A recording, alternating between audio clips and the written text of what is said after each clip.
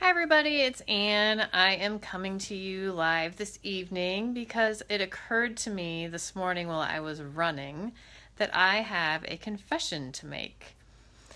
I have to share that, well, I'm sure many of you know um, and have seen that I am training for a half marathon.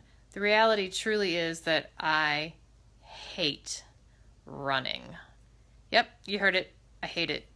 So, why, you might ask, would I do something that I hate so much? Well, there's several reasons that I go ahead and get out there and do that running. Um, one, it makes me nicer to be around. Um, it's certainly, you've probably heard the statement, running burns off the crazy. Well, that is certainly true for me. It makes me um, easier, nicer to be around. It makes it so that um, the stress that I'm feeling, sometimes I can work that off. And then there are other times when I don't want to work through those problems. And I just turn up the music and tune everything out and have just some me time. Hi, Kim. Good to see you. Um, the other reason I do the running is it's good exercise. Although, admittedly, sometimes the running is really more walking. But that's okay. I'm getting the steps in, I'm getting some exercise in, and as I t- discovered after I turned that big 4 0, that uh, it's harder to lose that weight.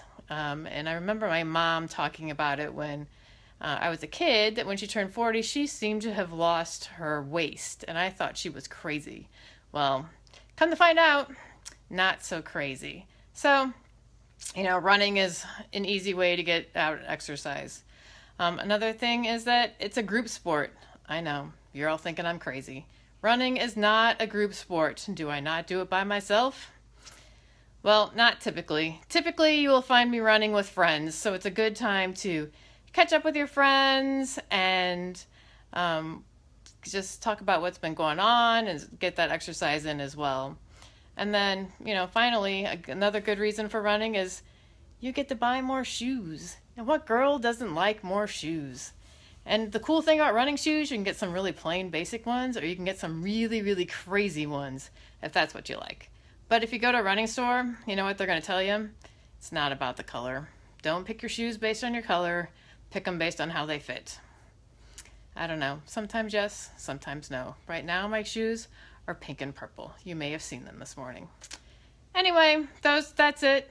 Real quickly, that's my confession. Yes, you've seen me running. Yes, I'm training for a half marathon. Yes, I absolutely hate it. I hope someday I will like running. My husband seems to. We have other friends who seem to. Maybe someday. Anyway, that's it for tonight. Stay tuned. You may hear some more tips coming from me about why I'm running and what running after 40 actually looks like. Thanks for joining me, guys.